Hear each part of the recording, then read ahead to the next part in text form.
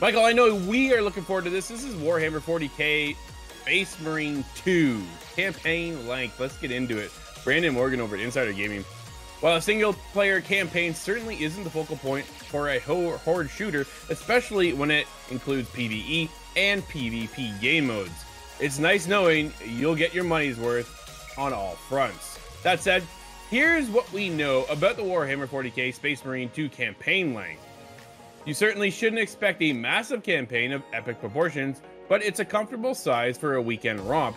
It takes approximately 8 to 10 hours to finish the campaign in Space Marine 2 on standard difficulty settings.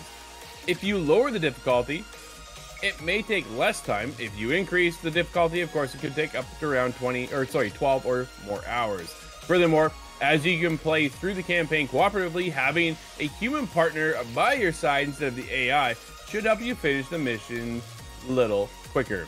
You can expect approximately 5 to 6 PvE missions on launch and more to come in the future as per the studio's year 1 roadmap. Like uh, like in World War Z, PvE missions will likely be highly replayable in Space Marine 2, as you'll want to unlock much of the game's cosmetics, including weapons and armor skins.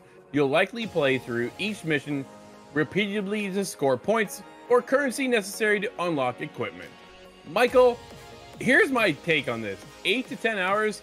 Dude, I missed that time frame for a while because mm-hmm. everything seems to be like 50, 60, 80 hours. So get into something that's 8 to 10 hours to me right now feels like the sweet spot. Yeah, this feels like a perfect length for a game we talked about that maybe doesn't uh, it's not campaign focused right? It's not like you're gonna you know i don't know how deep the story is gonna be but yeah. 8 to 10 hours perfect.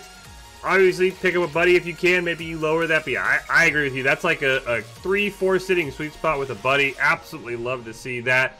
I'm curious how replayable the missions are in terms of enjoyment right? Obviously it sounds like you're gonna want to replay them I'm really curious if they're going to be enjoyable if I if I'm on the mission for the third or the fourth time and I'm trying to get currency. That I think is what will make or break this game for me. Is if it's like, oh, I can do this differently. If it's just like, all right, here comes this wave, and I'm gonna shoot him, and then I'm gonna throw my grenade. If it just becomes repetitive, just because I'm trying to grind currency, that's where I can see myself falling off. But yeah, I love the length of the campaign. Five to six PvE missions, not too bad. Obviously, the PvP mode as well. I'll definitely check that out. But as long as those PvE missions have some sort of unique replayability, this game sounds like this current launch state is going to be absolutely awesome for somebody like myself to come in, check it out, have some fun, and then pop out when I'm done in like 10, 15 hours with everything.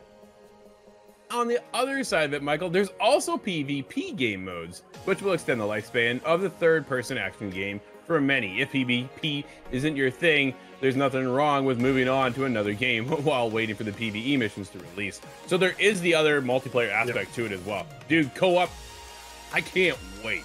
Like that's the biggest thing for me. I'm like already calling up my brother, going, "Yo, dude, let's go." Right? Like that's we've been looking for something lately to kind of get in. What is a co-op game that we can play? There really isn't kind of anything hitting right now.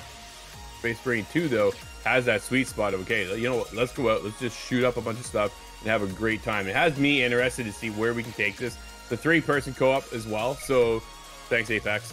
We, dude, the three thing, the three people, is just such a weird thing to me lately. It, I don't know. Everybody seems to be getting on that bandwagon.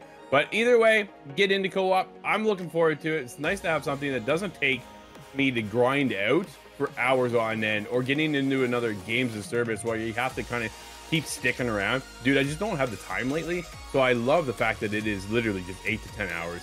Get in, enjoy the game, touch on the multiplayer a little bit if you want to get in that PvP side. If not, then just bounce out.